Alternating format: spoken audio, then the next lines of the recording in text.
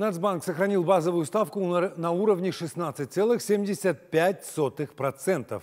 В регуляторе пояснили, что это необходимо для стабилизации инфляции и постепенного ее снижения в среднесрочной перспективе. Также в Нацбанке озвучили обновленные прогнозы по росту экономики. Подробнее у Жамал Габдулиной.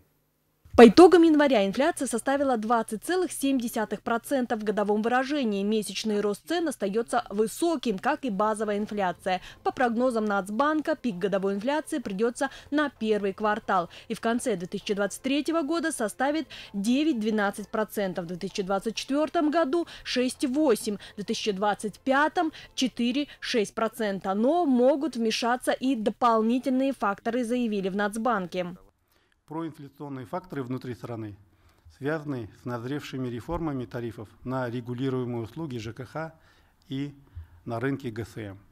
Эффект от реализации этих реформ может ускорить рост цен на широкий спектр товаров и услуг. Отмечу, что мы не закладывали данные факторы в предпосылках базового сценария, поэтому в будущем их возможная реализация может повлечь изменения в наших прогнозах.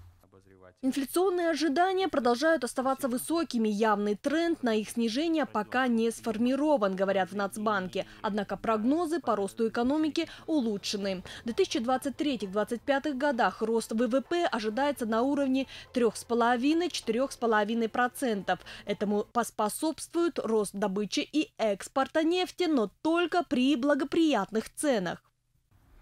Тем временем положительная динамика импорта на фоне фискального стимулирования, а также сдерживающая реальная ставка будут отчасти нивелировать рост внутреннего спроса. Риски прогноза ВВП концентрируются в возможных транспортно-логистических проблемах для наших экспортных товаров, а также в реализации плана добычи нефти.